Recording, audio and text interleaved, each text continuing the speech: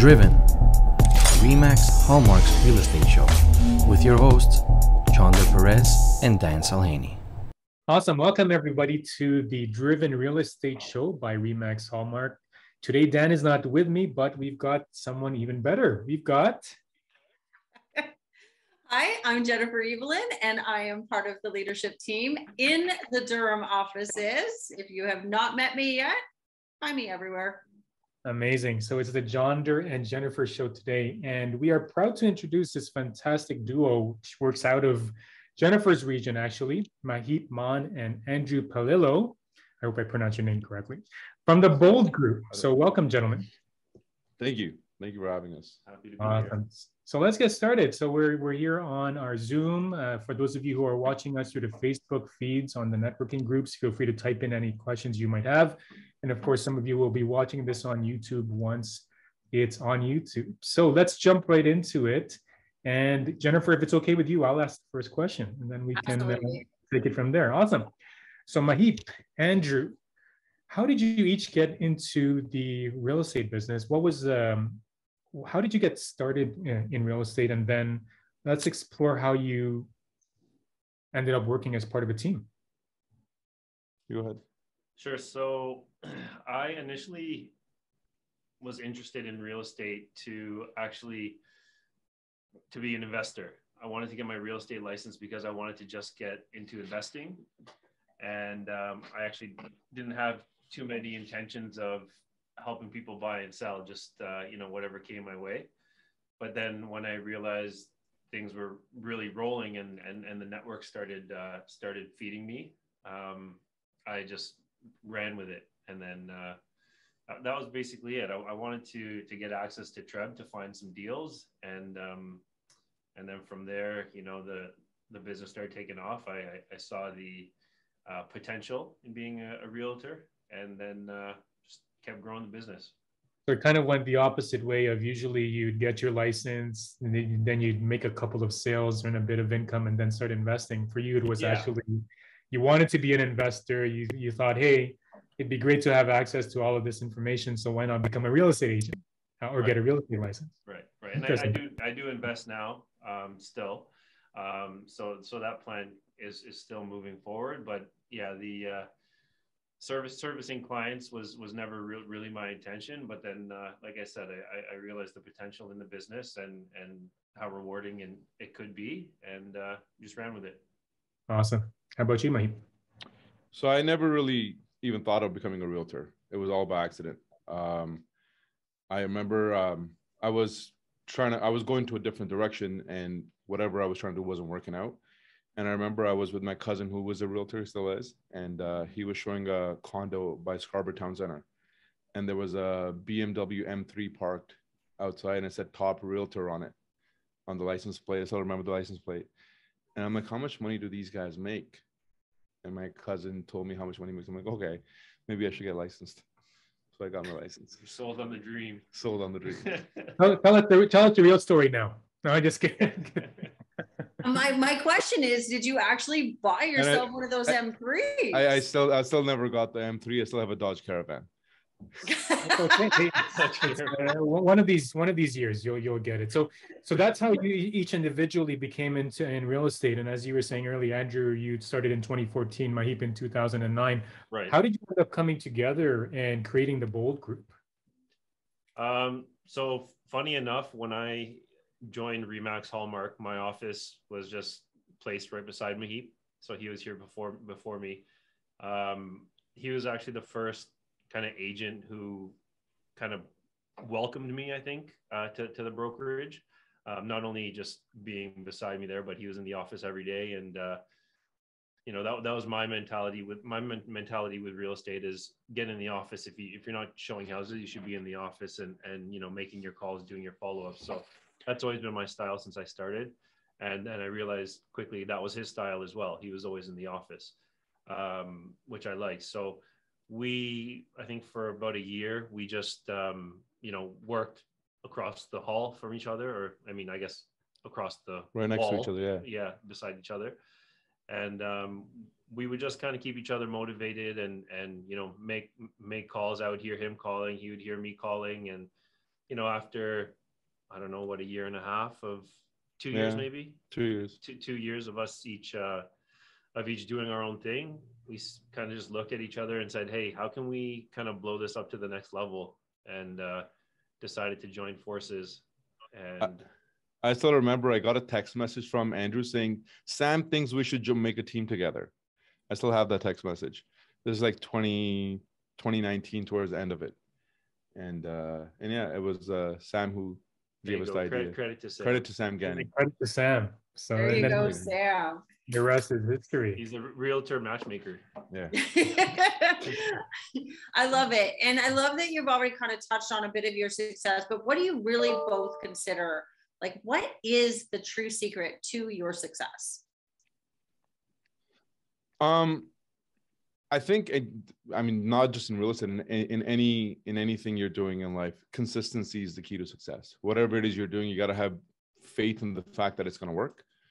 And um, my, I mean, whatever I did so far is I've just taken what successful agents have done and I've just copied and implemented in my business. I haven't backed off. I just kept working at it. And consistency is key. So yeah, no, I, I think that's the main thing as well. Um, you know, whether you start off farming or cold calling, you know, you have to just keep going, keep going. Um, you know, create your regiment, stick to it, and uh, stay consistent. So I think that was the biggest thing for myself as well. Yeah. Awesome, which is you know pretty pretty self-explanatory for those of you who are watching and and will be listening to this as well. And it's it's really just as practical as that because in the real estate industry, a lot of us are looking for that secret recipe, right? That magic uh, magic pill or whatever you call it, and it's really just more practical than we think. So, seeing your great heights, you were for under the Remax brand, you were the Diamond team for 2021. You've each individually achieved such fantastic accolades, chairmans, titans, and and yet you know we see this today. But of course, throughout your years of getting into real estate, I'm sure there were some struggles and challenges. So, what would you say individually were your what each of you struggled with, and then sort of growing as a team. What were your growing pains as a team, and then how did you overcome them? Sure. Um, so some of my struggles, I guess, starting out was just um, so I, I was I think it was 20. I must have been 24 when I got licensed. So I felt like one of the big things for me was walking into a listing presentation, you know, older couple, who's maybe meeting somebody who's around their age range and maybe you know can relate to them more so age was age was a big thing for me when i first started i think um, and um, how, how i overcame that uh, was really just practicing my practicing my scripts through my presentations um, just getting very comfortable and learning how to be be confident when i'm talking to potential clients um, and then i mean it all just comes I think through experience, um, you know, through through the through the repetition of of uh, you know, like I said, learning your script, learning your presentation, perfecting your presentation. Um, that that helped me, um, you know, actually start landing some um, some clients who maybe I wouldn't have got previously. Um, so so that was a big thing when I think I first started. Yeah, I think for me was um, understanding which part of this business I'm good at right? Which part I'm really like, uh, which part I really enjoy doing. And then the second part was also lead gen. Uh, and lead gen ties back into knowing what you're good at, right? So um, there's different ways to prospect, different ways to ge- generate business, different ways to attract clients. And uh, for me, once I figured that out, which one was the best for me and what kind of clientele I wanted, I would hear it all the time that you gotta, you can't work with everybody. You're not gonna, you're not you're not here to look to like you're not looking to work with every single person on this planet so once i knew exactly what kind of client i wanted and uh, then i just made sure that i had a lead gen system in place to get that client to come work with me. Once you figure that out i think and you do it and you put your sweat equity or your check equity behind it nothing's going to stop you. Amazing. So just pretty much putting the right pieces of the puzzle together and i think yeah. that's what really takes time in in our business is you know we're going to have some successes some failures and some challenges and especially in a market like this where we're kind of not used to a lot of the things that we're experiencing right now it's a total totally different uh, environment. And yet, for many of us, we've been through similar things before, and we just have to realize how to how to overcome it. Yeah. Yeah. Right.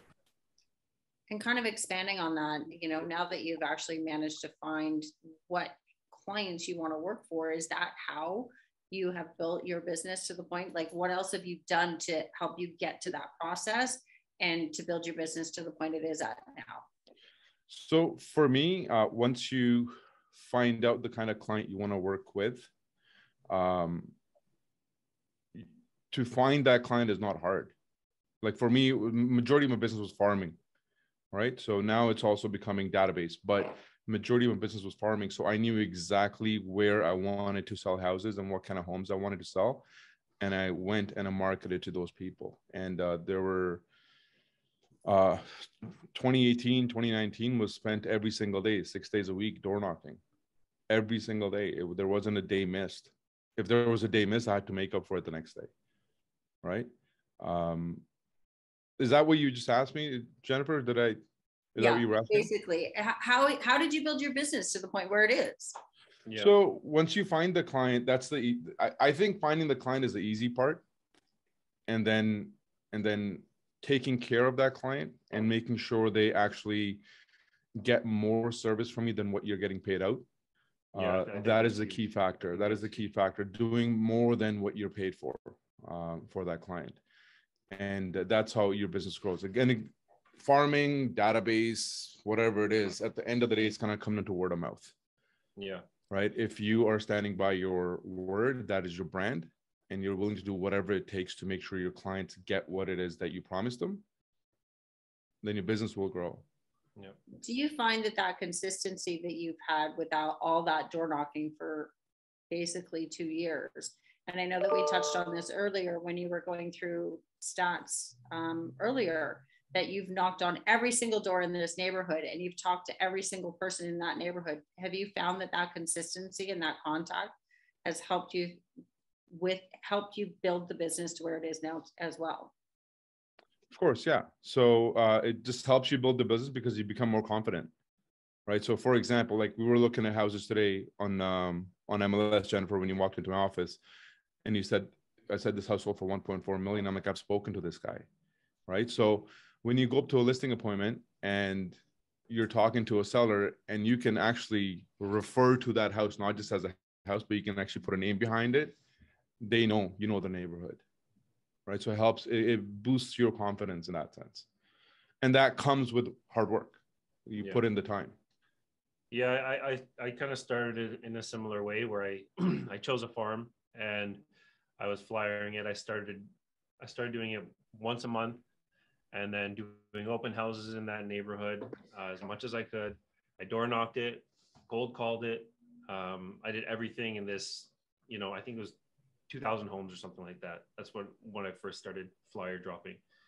And then from there, you get a little business out of it. Um, start expanding it, right? So you, you you start going more consistent with the flyers, right? They're starting to see your signs now um, with listings. So it all it all comes back to the consistency. Um, there was a lot of times where that same farm, I kind of wanted to back off when you don't get a call in, you know, two three months. Um, but you know, you're you're you're invested in it, and once you pull away from it and and start somewhere new, you're starting from the ground up, right? So that was um, that was a, a major major factor was was just keep going um, it, and and keep growing you know little by little so like i said i started 2000 flyers per month and now i'm up to 15000 biweekly right Wow. Same kind of neighborhood but just slowly expanding out expanding out expanding out. And that's and that's what a lot of our colleagues in the industry don't see. They think wow these guys are huge. They're, they're doing 15000 flyers. You don't realize that that 15000 flyers started with 1000 2000 and it, it involved meeting people door knocking doing Oh, open houses and couple Most community importantly- events in between right? Um, exactly keeping clients happy. stuff. right right. absolutely. So- absolutely. And so there's a long, there's a long time in there where there's nothing coming to you. That's where you got to have that faith in, in yourself, your abilities and, and, and the, and, and what y- the return is that's going to come to you. But a lot of people uh, kind of fall out in the first, I'd say, five months. Right. Yeah. Yeah. which is which is where I guess the real success comes from is if you've got that uh, tenacity to to keep Yeah. pushing and Yeah. and as as you know maybe the, the best word for that is faith yeah you've got to Yeah. You, you know it's going to work but you've got to have the faith that it will work because otherwise you know you you you quit just before that person who needed to get that flyer that next month would have seen you and you're not there 100%. anymore and you know somebody 100%. else ends up getting that so Yeah. it sounds like you guys have like you got a very solid in terms of your systems in terms of your business planning and knowing what to do and, and doing it consistently so what would you say your typical day looks like so how much of the day is spent you know working within the group within you know you know your team you guys have team members as well how much of the day is spent managing coaching getting them to do what they need to do and then what do you guys individually individually do yourselves I'll let you answer that because you're more scheduled than I am. yeah, we'll uh, talk about that later. But uh, um, I mean, my, my typical day: wake up, gym at home. Usually, I spend some time with the with the kids. Obviously, first thing they're they're my alarm clock right now. Um, so I wake up wake up with the kids, um, do a quick workout at home, and then usually try and get in the office nine nine thirty latest. Um, I'll jump on the phones and either you know cold call or do my lead follow up for the day. Um, usually, and th- this is the same schedule that I tell the team to do, right? So it, it kind of goes hand in hand. Um, so 9 to 11, 9.30 to 11.30 noon, that should be your calls, right? Focus on calls, focus on door knocking. Um, so like I said, whether it's, you know, for me, I don't do as much cold calling anymore. Now it's more like nurturing, right? Uh, follow-ups uh, because I built the data, database up where I where I can I can just kind of lean on on follow ups to push people forward. Um, so we do that in the morning. Um, try you know take take lunch midday, um, and then usually we try and schedule if any showings you know their evenings kind of thing, um, and then anything in between is just you know listing shoots that kind of stuff. Um, you know. Um, media social content that Yeah. type of stuff you know we're trying to do the uh, do do the videos and the reels a little bit more. So we we we work that into the afternoons.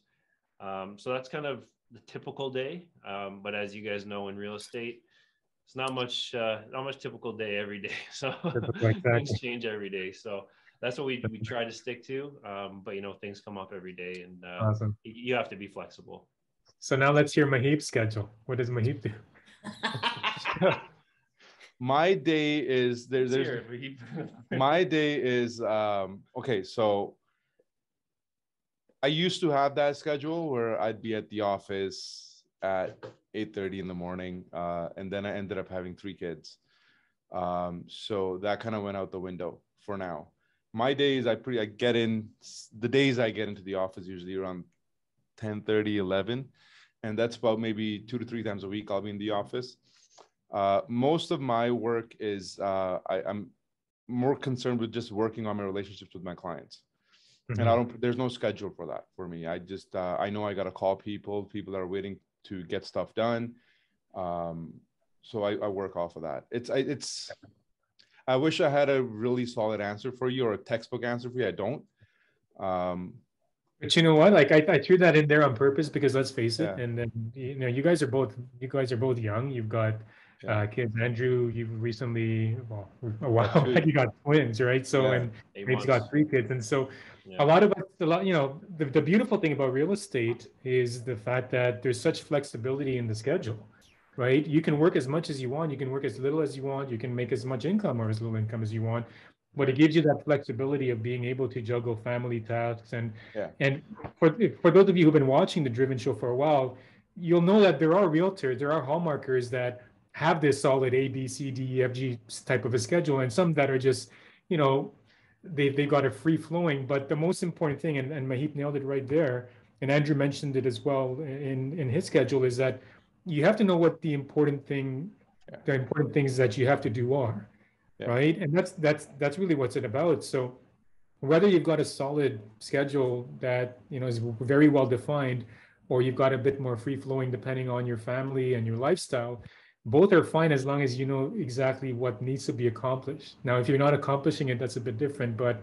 you can see with with Maheep and Andrew that you know they're doing very well in terms of their performance. So whether you do it Andrew's way or whether you do it Maheep's way, both are fine, right? As long yeah, as you're so there's there's non-negotiables that have to get done every single day, Exactly. and there's time made for that. I mean, even if it comes to my personal life, I gotta have that time with my kids, right? So when it comes to business wise, there's got to be time every single week spent on marketing, and I have days and times for that. There's Right. days and times we have set in our schedule that have to be for the team. That's right. Oh yeah, like those are non-negotiables, we, right? we recently introduced Thursdays as our team meet uh, media day, right? So the team all gets together, we shoot content, and that's you know the the first half of our day is just is just content on Thursdays. So we specifically um, you know time block that out every single week so that you know we have stuff to put out every single week. Um, so so that, so that's important. Um, and then I mean y- you asked the question things that we do with the team as well. Um, every Monday we have our team meetings, um, kind of just like our sales meeting, and then um, every quarter we we do our one-on-ones with with our team just to you know see what's in the pipeline and and see if there's anything that they need from us in terms of training and and you know challenges and things that we can help them with. Amazing. Amazing. So I I get to see firsthand a lot of what the team does because we are in the same office. And some of the content creation, who's really the brains behind some of the content? For the most part, I would say, yeah, the brains, yeah. Who's got the better dance skills?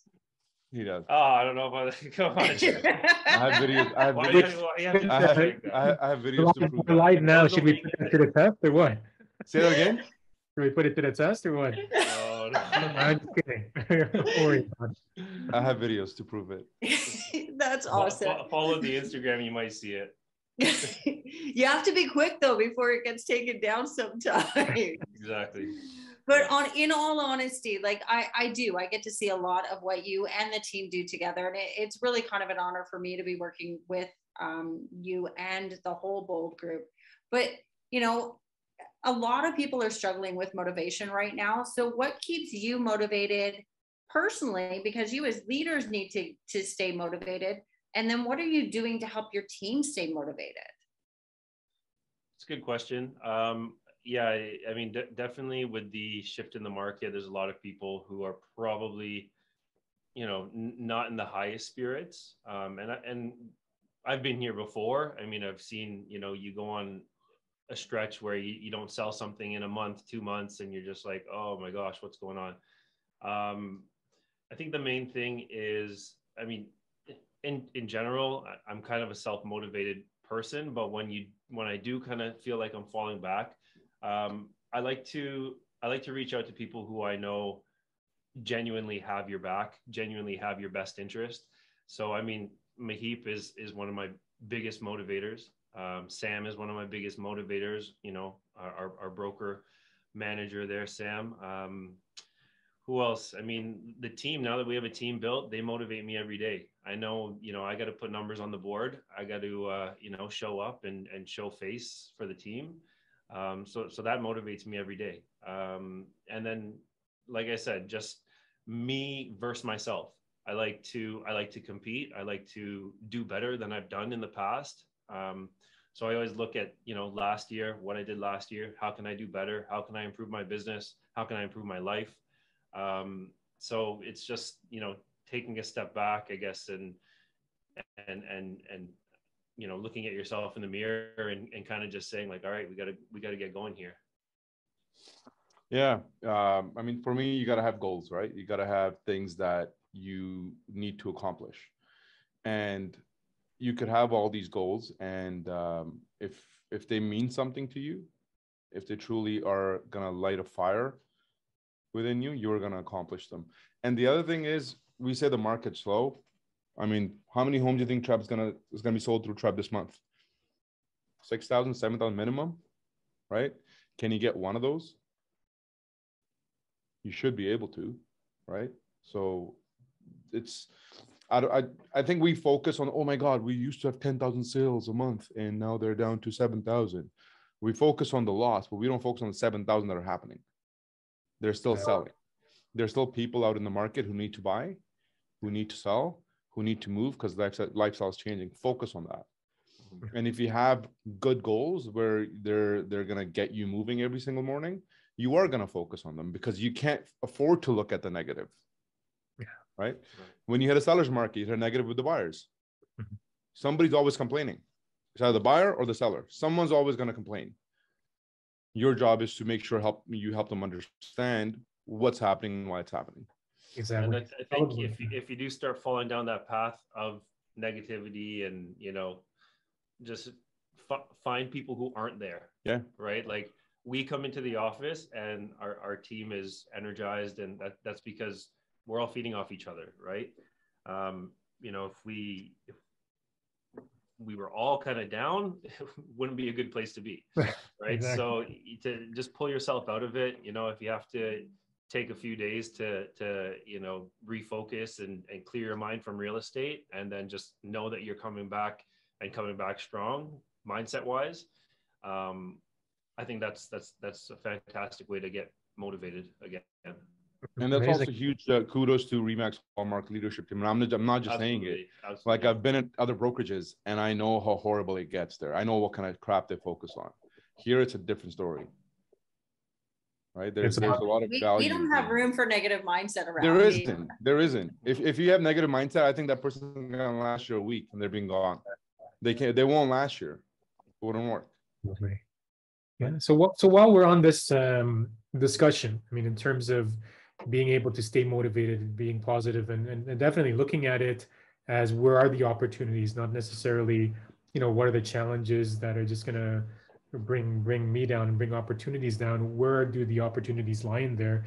Because on the on, when the market was on the way up, everybody was saying, "Oh, there's no listings. You know, why are we we're competing so much heavily into multiple offers, we keep losing. Now that you got what you wanted, like the buyers got what they wanted, and the buyer agents got what they wanted, they're not just sitting on the fence. And so now they're hiding yeah putting, putting things into that context, you know, sort of makes sense in terms of how to properly look at things. And so here's a question for both of you. And and you know, this may be, you know, something that, you know, a lot of us watching this, listening to this will benefit from in, in this environment. And you know, we say a lot, you know, there's there's always there's always some sort of a challenge no matter what market we're in right? When there's an abundance of listings there's a challenge in that market. When there's no listings but multiple offers and prices are shooting all the way up there's also challenges in that in that market. So putting it into the context of this current market there are some realtors that are going to be watching this. Some of them are here now some of them are listening to you and some of them will listen to this on the podcast or watch it on youtube. Some of them may be you know 20 30 40 years in the business. Some of them might just have been you know starting out maybe less than a year or just they literally got licensed in the past month or so.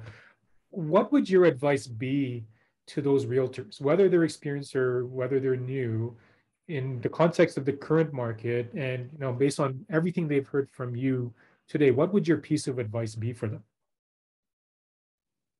In terms of what, like, what should they be doing? no just in just in general just like what would what would you tell okay let's let's put it this way let's say you're starting out today so both of Yeah. you travel time travel back in time and you're Yeah. uh, completely new agents what would you tell Yeah. yourself Get off your ass and go door knock. Simply put, there's so many, so many people out there that need to sell.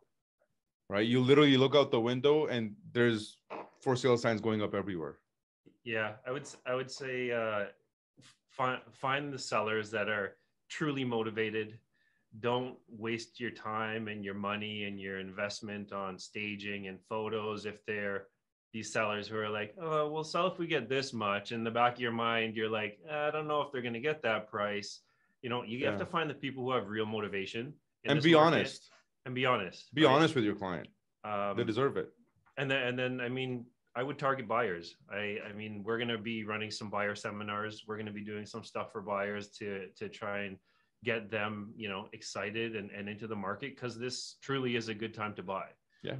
um so if, if if people don't see that it's because they don't know they're they're not educated enough to to realize that it is a good time to buy um, anybody who buys now in five years they're going to be way ahead of the game right so we we need to we need to find those buyers qualified buyers um, so that's what i would say is is you know maybe if you're targeting listings too much, then you know do some things to try and get some buyers to offset things because you know you're going to have a, a better time working with buyers right now for the most part um, than then you will be you know working with certain sellers. I mean, like I said, if you find the seller that's having to sell for you know for a real life reason um, then then that's fantastic. If they're on board with with your suggestions on price and price recommendations then that's a great seller.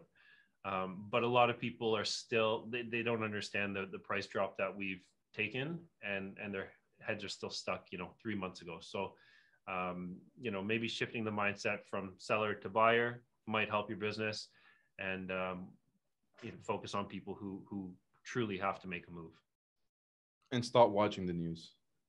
Yes. Yeah. Not gonna help you. Cp24 turn it off. Yeah. Start watching the bold group tiktoks. There you go.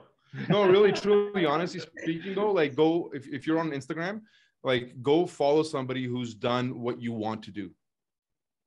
Right? Uh follow those people and watch what they're doing. Reach out to them. Like there's an agent out in ottawa um, that back in 2017 2018 i used to i used to literally i think i used to message him on a weekly basis to see how he grew his team to where he is today. And these guys that are doing that kind of business i think that guy sells about 150 homes a year on his own. The ones who are doing that kind of business they are very helpful. They want to help. They want to see you grow right? They, they don't want people that are not doing business around them. Mm-hmm. so reach out to them. Yeah stop watching the news and reach out to those guys. Or follow the bold group. Amazing. no, honestly. So, I mean, obviously, I follow all of my agents on their social media platforms, and I actually love every one of your TikToks that you guys put out. Their content, they're quick, easy to digest content. So, you know, thanks, Jen.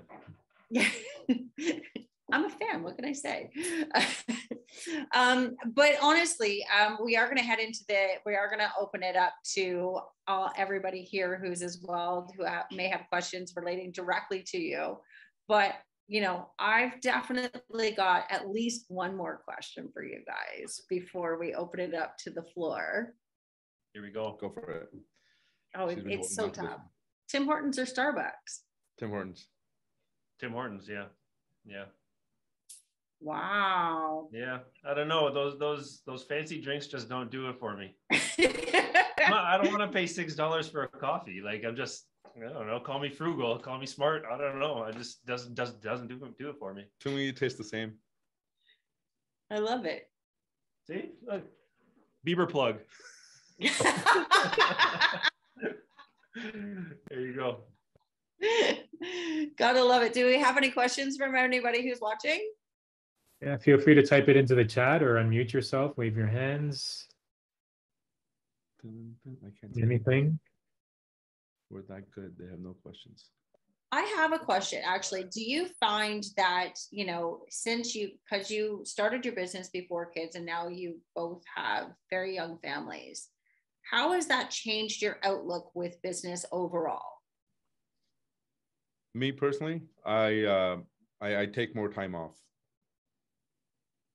I schedule my uh, time off before I schedule my work appointments. Yeah, uh, that's very important because at one point, uh, I think last year I was it, and I was completely burnt out. Completely. Yeah. Yeah. So my myself, my pr- first priority will always be my kids and my family. They'll always be the first priority. Business will have to fit into my life, not the other way around. Yeah, wow. it's tough for me making the adjustment because I'm kind of new into this whole thing. Um, my my girls are only eight months, um, so it, it's this transition has been it, tough because I I like working, I really do. Um, I like uh, I like the grind, and uh, you know if if I had it my way, I'd probably try and work more hours if I could, but I know it's not realistic, right? Because I mean. Uh, my my fiance needs help at home so i mean it's it, it, it is a balance but um i you know on, on weekends now is, is kind of my main thing is i try to clear up my weekends as much as possible um you know and, th- and that was one of the big things when we were getting into starting a team is is you know how can we how can we, you know, free up more of our time, right?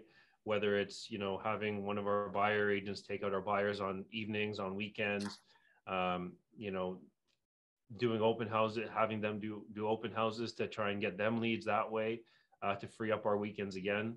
Um, th- these are just kind of little adjustments that you know we're trying. I'm trying to put into place now to to give me some more time with them because, like I said, I, I, I do like to work. I like to you know if if I could just grind it out, I would.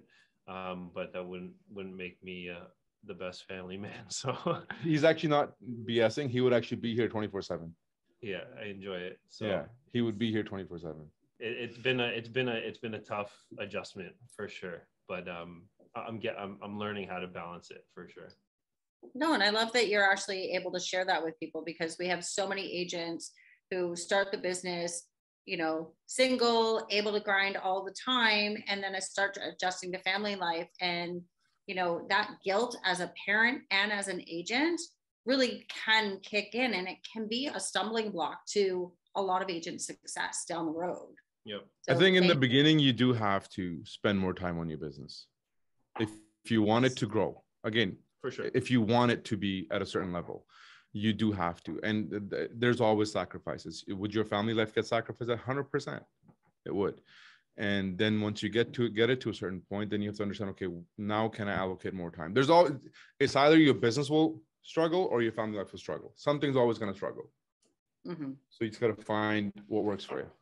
And that's the reason you get into this business as well. And uh, you know, for your trajectory's sake, uh, if you were both just individual agents, you wouldn't have that same, you know, leverage over the Correct. you know the productivity you have and the schedules that you have. Uh, and so anybody aspiring to get into becoming a team, I mean, if if there's one benefit to that, it's the fact that you can leverage other skills um, and other team members. You help them achieve what they want. You get to achieve your time freedom and be able to live the lifestyle you dream about right? And yeah. when and you, know what? it, it, even works for people who are on our team right? If they exactly. have clients and have buyers and they want to take a vacation well look you have you know four or five other people here to to cover you right and uh, you know they're going to be in good hands because they're the people you work with every day so I, th- I think the team atmosphere is fantastic um, you know I, I think we have a, a good thing going here. And, um, you know, if, if people are kind of lost for direction, I would always say consider a team because it's, it's going to help you balance your life. It's going to help you stay motivated. It's going to give you accountability. Um, there's a lot of th- good things that, that come out of a team. I think definitely. Yeah. So good. Well, thank you both for joining us. And uh, for those of you who have watched and wanted to want to connect, uh, I put the links in there and we'll put it in the description as well. www.getboldgroup.ca. You can also connect to Maheep and Andrew's social media um, through the website and uh, feel free to reach out to them and send them referrals for uh, Durham and uh, GTA area. So Maheep, uh, Andrew, thank you so much for spending Thanks, time with Jennifer and I today. And we wish you and your team much more continued success in the future. Thank Appreciate you very much, John. Thanks for having us. Jennifer, thank you so much. Thanks, John. Here.